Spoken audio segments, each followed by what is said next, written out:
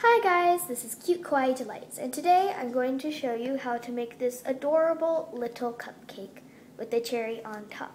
To start this cute cupcake, we're going to take a golden ball of clay like this and create a base.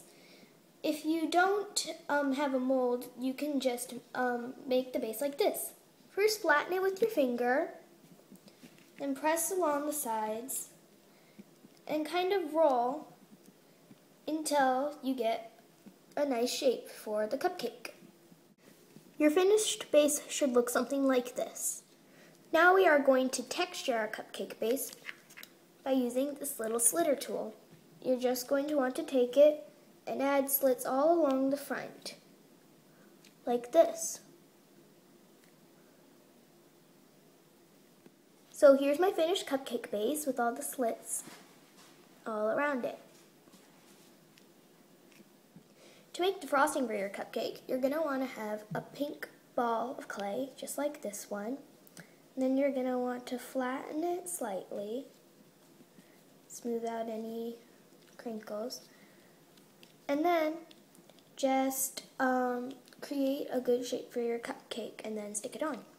So now I have the pink frosting put on my cupcake and I'm going to show you how to make a cherry to go on top. You're going to want to take two pieces of red clay, one in a very slightly rolled out snake, and um, the other as a very small red ball. To create the cherry, you're going to want to just poke in with your finger and then flatten up around the sides. Then, just take your little piece of snake and put it inside the red ball. This is what it should look like. Now, just pop on a face. To make the face, we're just going to pop on two eyes.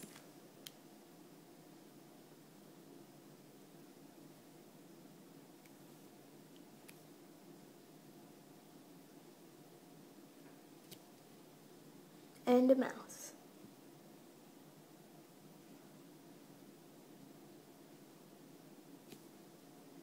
Isn't it so cute?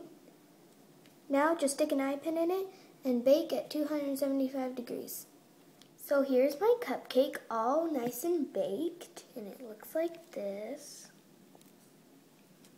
And um, as you can see I fixed the cherry a little bit um, so it would stay in and I stuck an eye pin in it too so you could wear it as a charm. And now I'm going to show you how to make the eyes. So to make the eyes, I've just dipped a toothpick in some white acrylic paint. And um, now we're just going to take our cupcake and dot them on. So here are my finished eyes. An alternative to using acrylic paint is just taking some white polymer clay balls and sticking those on, but I highly advise you to use acrylic paint because it looks way more realistic. And now we're just going to glaze this and I shall show you how um, that looks like when um, it's all finished and dry. So here's the cupcake, all nice and glazed, and here's what it looks like. So um, thank you so much for watching this video, and be sure to check out my channel, and um, if you like my videos, then please subscribe. Bye!